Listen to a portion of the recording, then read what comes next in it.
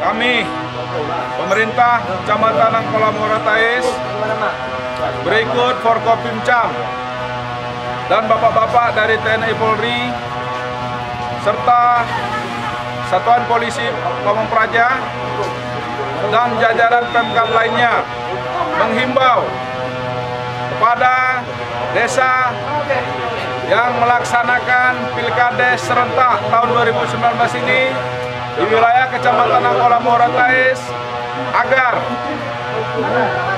dapat melaksanakan pertama pelaksanaan Pilkades seluruh tahapannya sampai dengan perolehan hasil penghitungan perolehan hasil itu tetap mematuhi peraturan yang berlaku.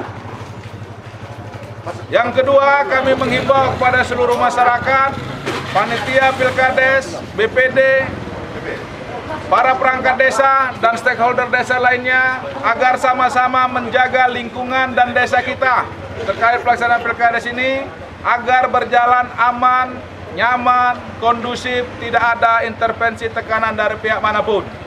Ini aja himbauan yang dapat kami sampaikan. Sukses buat kita semua. Mudah-mudahan Allah Subhanahu wa taala melindungi usaha dan amal baik kita ini. Amin ya rabbal alamin. Assalamualaikum warahmatullahi wabarakatuh.